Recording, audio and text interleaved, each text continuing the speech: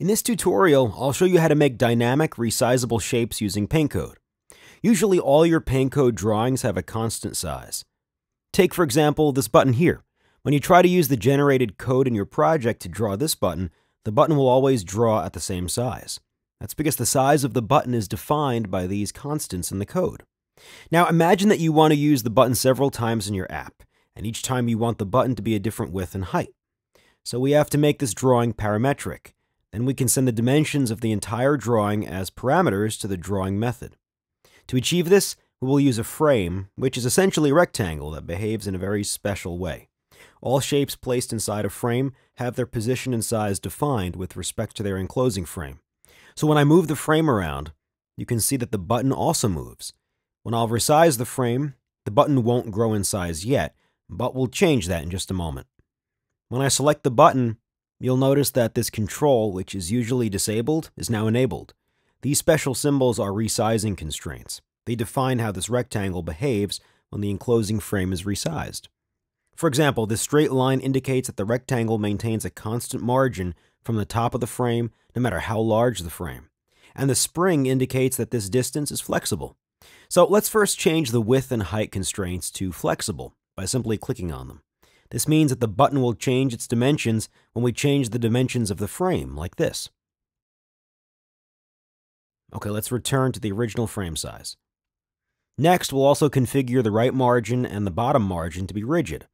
It will behave quite nicely now. Lastly, I need to fix the position of the icon. We want it to always be centered vertically. Let's configure the resizing constraints of this icon. It is actually a group composed of several shapes.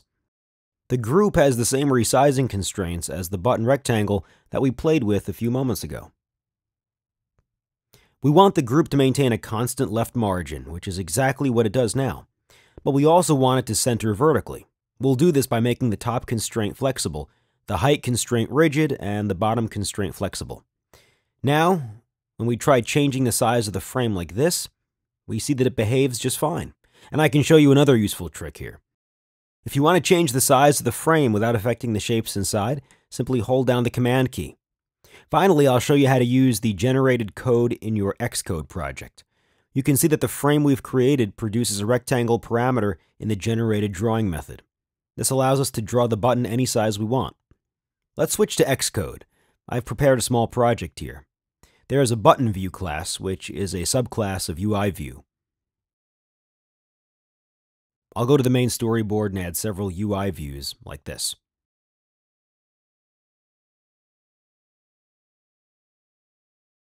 I'll also change the class of these UI views to button view. I want several UI views here of various sizes like this. Now I'll return to the button view implementation and here in the overridden drawRect method, I want to call the drawing code to draw the button. To do this, I'll start by exporting the style kit from PaintCode.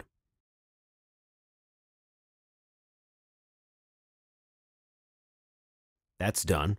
So I'll switch back to Xcode, add the style kit files. And now in button view, I can import my style kit. In the overridden drawRect method, I'll just call the drawRate button with frame style kit method. Let's use the bounds of this UI view as the frame parameter. Now when I run the project in the simulator, we see three buttons displayed with three sizes. Thanks for watching.